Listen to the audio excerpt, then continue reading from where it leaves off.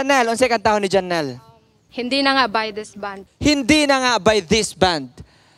Red, um, ako pangutana, giyon sa pagkabalo ni Janelle nga adunay beat si okay. Well, na ko ano ko gichatan ra ko sa akong friend kay gikan mo ko sparky mapalit at akong food ba. Yes. Then yeah, siya nga ani diri kay pakanta. Ready na ba si Janelle? Ready na. Sige, since ready na ka, ako na dayong ihatag ang entablado sa beat si okay. Palakpakan nato si Janelle. Oh, let's go, Janelle! Ops! Quick break. Beatzers! Amaze gud kayo mi sa inyong suporta nga gipakita diri ka namo. Daghan gud kayong salamat. Pero mas amaze mi nga 2% ra mong naka-follow sa ato ang Facebook page and gamay ra pud ang naka-subscribe sa atong YouTube channel. Manghinaot og mohangyo unta mi nga inyo haming tabangan pinaagi sa pag-like, pag-follow sa ato ang Facebook page and sa ato ang YouTube channel daghan gud kayong salamat. Dako kay nin tabang sa amo nga growth. And in return, paningkamuta namo nga tarungon ug i-improve pagyud namo pag-ayo ang amo nga show para kaninyong tanan. Daghan gud kayong salamat, Bidzers.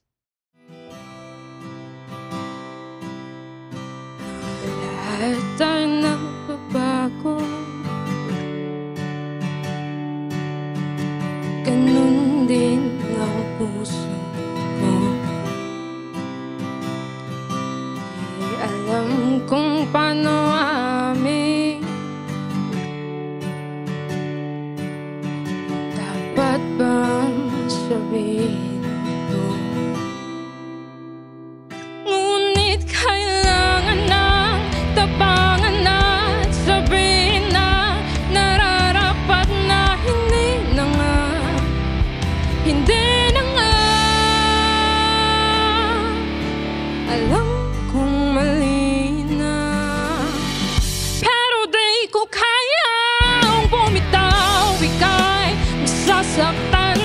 Pangako ko'y walang iwanan Alam kong huli na. Alam kong hindi na nga mahal. Oh, ilang beses din sinubukan. Pinilit ang nararamdaman pero kulang. May kulang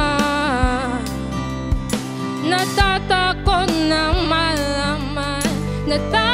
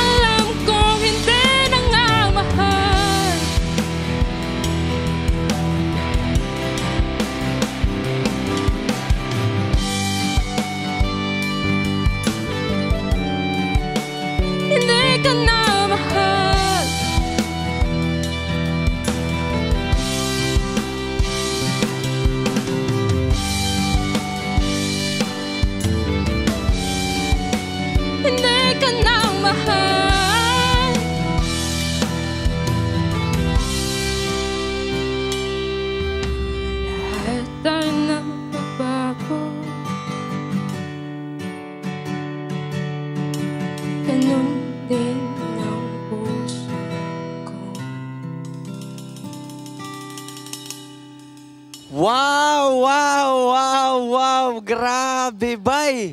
Pilay atong ihatag nga score ni Janelle ug ngano? Ah, muhatag ko niya og 10 kay Mayo, mayo, mayo makanta. Ah, pwede pangayaw. Sir, pilay atong ihatag nga score ni Janelle ug ngano? Ah, 8 kay yeah, asintonado pero mupiaok yung sa gamay. Pilay atong ihatag nga score ni Janelle ug ngano? 10. 10. Nganong 10? Ah, bisag wala mi kasugod pero nice ang iyang pagkanta. Bidzers, kung kamo mohatag og grado, pila ka ha, ug ngano? Ug asa na pud mo ganahan nga mo bisita ang Bitzy okay? Just comment down below. Ug ganahan sad mo nga mo sponsor og episode, email us at info at bitzy.com. Ayaw kalimot og like, share, subscribe sa Facebook, TikTok, YouTube, Instagram ug Spotify para updated ka sa mga upcoming videos nato.